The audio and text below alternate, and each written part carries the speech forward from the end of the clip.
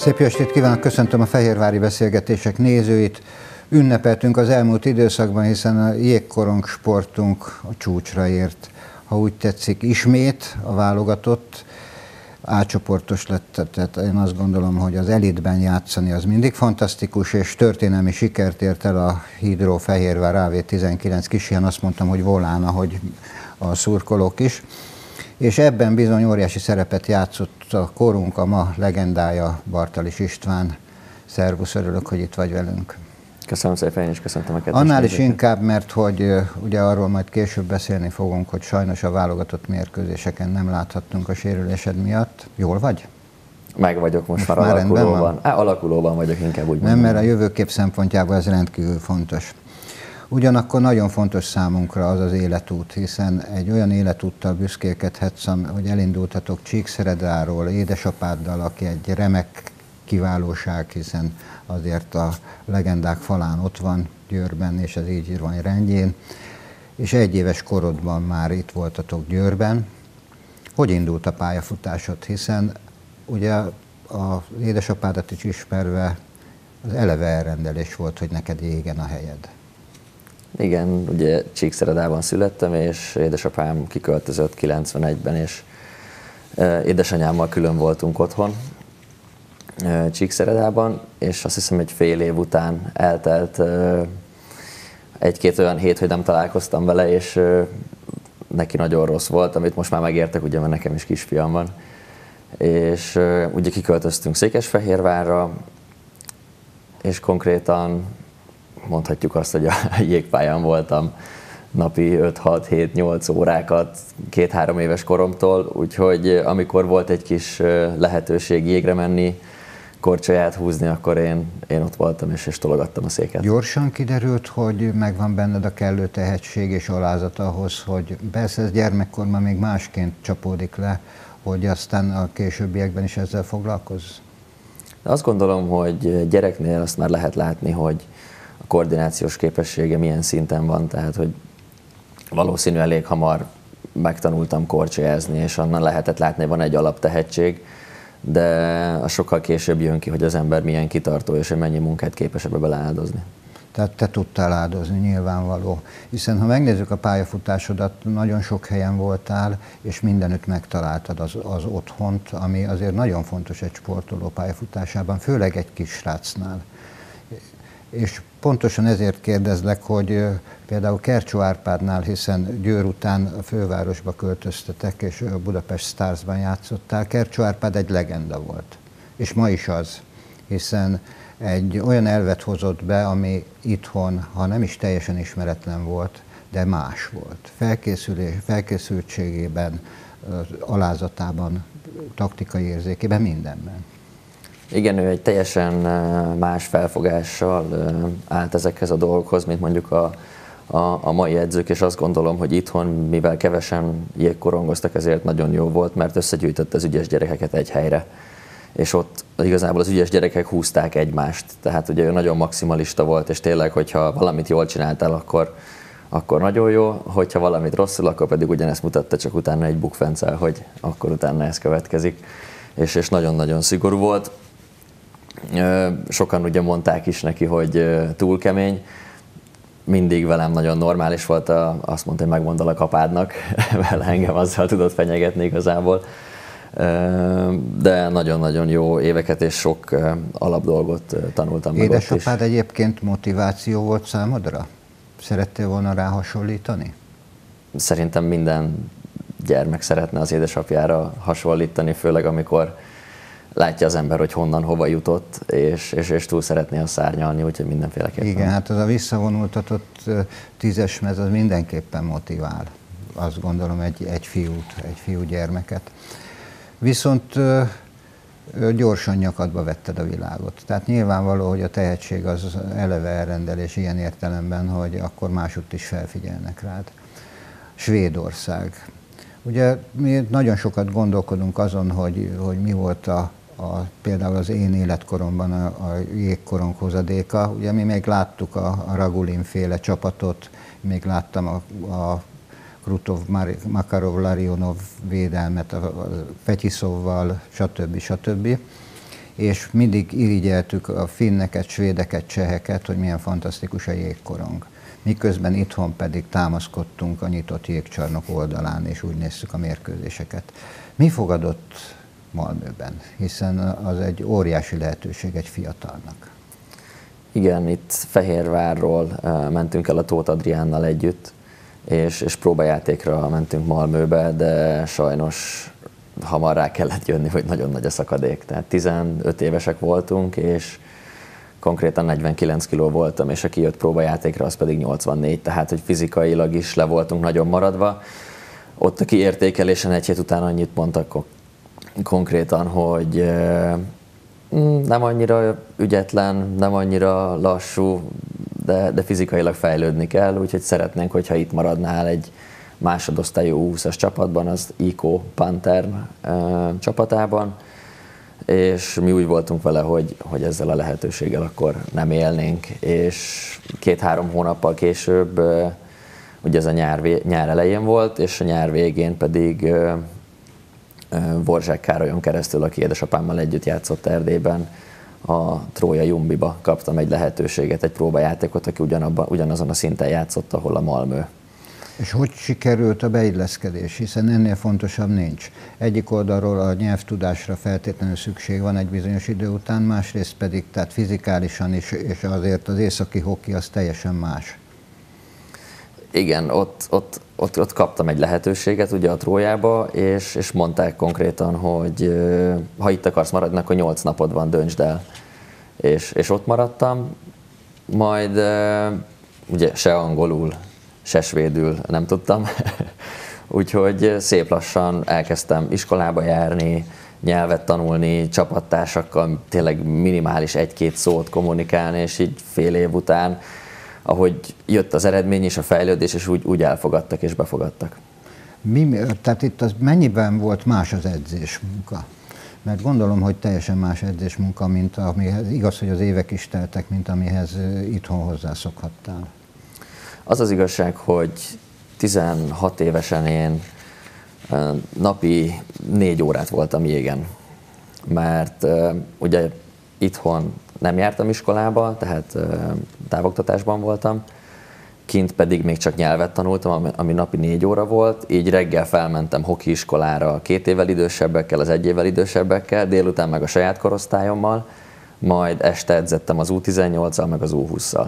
És konkrétan annyit edzettem, hogy hogy nem volt másra időm, tehát tényleg csak ezzel foglalkoztam, megtanultam. Mikor érezted úgy először, hogy kinyílt a világ? Ez most már a te közeged, függetlenül attól, hogy és nyilván jött majd jött a nyelvtudás, meg az összes többi. Amikor azt mondtad, hogy igen, otthon vagyok.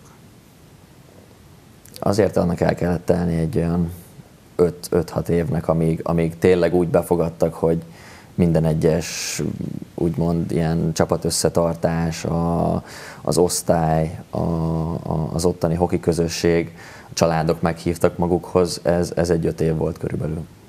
Tehát amikor már teljes egészében azt mondtad, hogy az az északi millió az a tiéd. Igen. Ez sokat segített abban, hogy aztán utána, amikor végül is hazaérkeztél, akkor megtaláld azt a helyet az elitben, ha úgy tetszik? Mert mindenki nyilvánvaló, hogy arra számított, hogy kikupálódtál, fantasztikus teljesítményt nyújtottál, akkor itthon pedig sztár leszel. Így is történt egyébként. De milyen volt az átállás a hazai viszonyokra?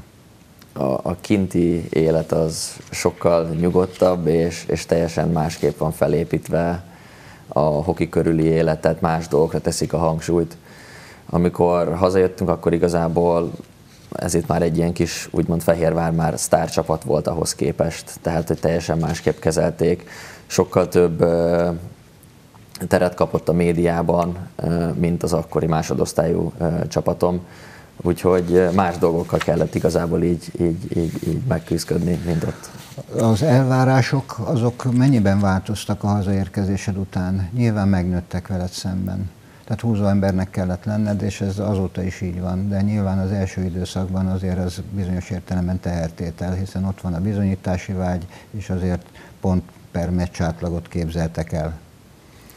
Igen, én azt gondolom, hogy nekem a bizonyítási vágy az mindig saját magam felé és, és édesapám felé volt, mert mindig vele beszéltük meg a mérkőzést, és a leges-legelső mérkőzésem itthon, emlékszem, utána beszéltük erről, és majd napig nevettünk, amikor ez fejön ez a téma, hogy mondtam, hogy én veled hokiról többet nem akarok beszélni. Mert ott, ott, ott volt az, hogy nekem már más felfogásom volt, más elképzelésem a dologról, más dolgokat kellett volna csinálni, és másképp láttuk a dolgokat.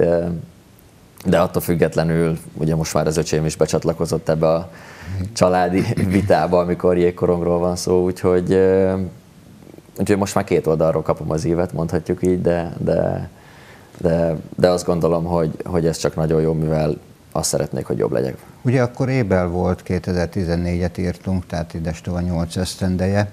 A csapat kellően megerősödött, az egyértelmű volt, érkeztek légiósok is, de ennek ellenére a te sorodnak volt az alapvetése mindig a, az eredményesség értelemszerűen. Milyen volt az Elbel számodra az első időszakban? Nagyon Hogyan lehetett erre készülni? Teljesen más liga, teljesen más hoki. Azt gondolom, hogy nem volt akkor annyi struktúra, főleg nem védekezés terén, mint akár most vagy, vagy kint. Viszont, ahogy a légiósokat is említetted, a Sarauer és a Benem, ők mondhatjuk azt, hogy nagy klasszisok, tehát megjártak nagyon-nagyon sok bajnokságot, nagyon jól teljesítettek. Benem az nhl is volt, hogy sok dolgot lehetett tőlük még tanulni, hiszen akkor még fiatal voltam, és láttam, hogy ők meccsről meccsre hogyan képesek újra és újra produktívan játszani. Ideje korán válogatott lettél. A válogatott az mennyiben motivál egy jégkorongozót, hiszen nyilvánvaló, hogy elindultatok fölfelé egy olyan úton, ami aztán szapporóban csúcsosodott ki értelemszerűen, meg az idén, de akkor, el, akkor tehát teljesen más volt a, az első időszakban ez az út. Hát igen, amikor fiatalon kerül oda az ember a válogatott, az akkor ugye ott volt a úgymond Bas Jankó, aki még mindig ott van, tehát Ladányi, Palkovics, nagyon nagy nevek voltak a tokai, és, és teljesen felnézett rájuk az ember, hiszen sok évet töltöttek el külföldön, és, és én, mint fiatal oda kerültem, és konkrétan ugye fülét, farkát behúzza az ember, és, és, és megpróbál teljesíteni.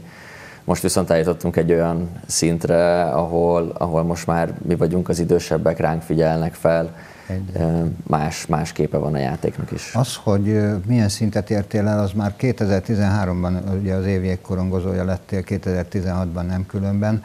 Az motiváció, hogy itthon egy feltörekvő olyan sportákban, ami, amit egyre többen néznek, mert ez rendkívül fontos, egyre több fedett jégcsarnok épül, a szabadtériek után a legnagyobbak lenni? Ez mennyire motivál egy játékost?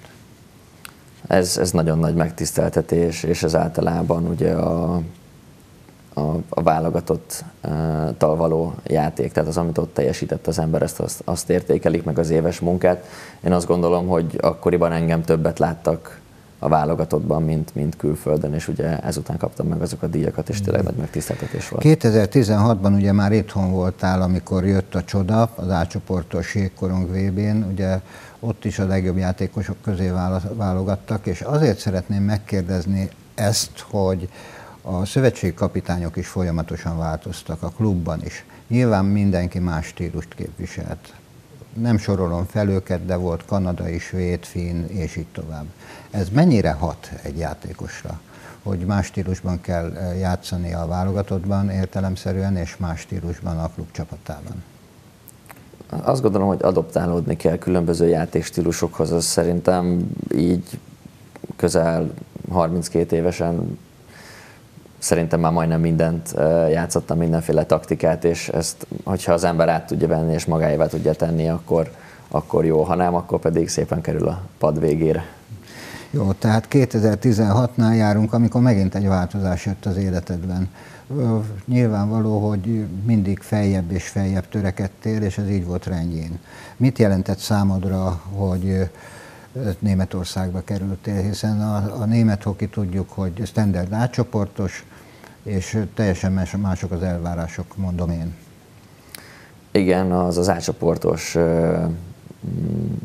szereplés után nyílt, nyílt ki az ablak, és Ocskai Gábor beszélt Pet Kortinával, és, és nagy nehezen elengedtek engem Németországba, ahol sokkal fizikálisabb, keményebb volt a, a, a jégkorong. Sajnos ez alatt az időszak alatt én, én nagyon sok sérüléssel küzdöttem, és sikeres első év után volt két nagyon nehéz év. A két nehéz év az megerősíti ilyenkor? Amikor újra talpra tud állni az ember, akkor igen, de amikor ilyen apró, bosszantó dolgok, hogy tényleg kijön egy hosszú sérülésből, és akkor utána fejbe lövik az embert, akkor úgy gondolkozik, hogy már megint, tehát, hogy... Tehát ha időszakokra bontjuk a pályafutásodat, nagyon sok mindent megértél. Mi, nyilvánvaló, hogy minden csapatodban volt egy olyan sor, ami számodra kedves volt, nyilván saját sorod. Kik voltak azok, akikkel nagyon szívesen, ha az elejétől vesszük, játszottál együtt? Fú, ez nagyon jó kérdés, ezt még soha nem tették fel. Volt egy játékos még, még nagyon fiatalon, akivel nagyon sokat játszottunk együtt, a Markus Nilsson. Mai napig nagyon jó barátságot ápolunk.